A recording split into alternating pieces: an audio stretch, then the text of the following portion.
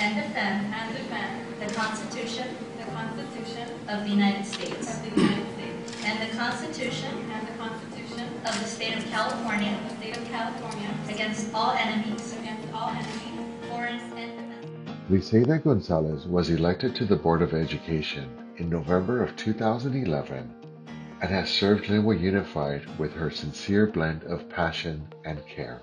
I think that Ms. Gonzalez has impacted Lynwood in many ways, more than I think we could ever truly share, but she has been a true champion for early education. Briseida, I want to thank you for the nine years of services to the Lynwood Unified School District. And while she served our board for nine years, she spent more than 25 years in this city, growing, learning, and impacting our community. Masada Homes has been one of Lynwood's longest health collaborative partners. We want to thank you, Briseida, for your partnership and amazing work. Just having her voice at the table, always ensuring to advocate for our most vulnerable students, that's something that I know I'm gonna miss, uh, but it's what she's leaving behind as her legacy for Lynwood, the person that always fought for the underdog. You use your background in social work to implement mental health for the students, free clinics for our community. Under Briseida's leadership, Lynwood Unified implemented new early childhood education programs and piloted a grant of 5.3 million to give our children a head start. I would like to thank Ms. Briseida Gonzalez for celebrating our differences. I wish you the best of luck and many blessings on your future projects. On behalf of Lynwood High School, I would like to thank our beloved board member, Ms. Gonzalez. Thank you for all that you have done for the students and all that you continue to do. You are truly appreciated by the student community and you always will be.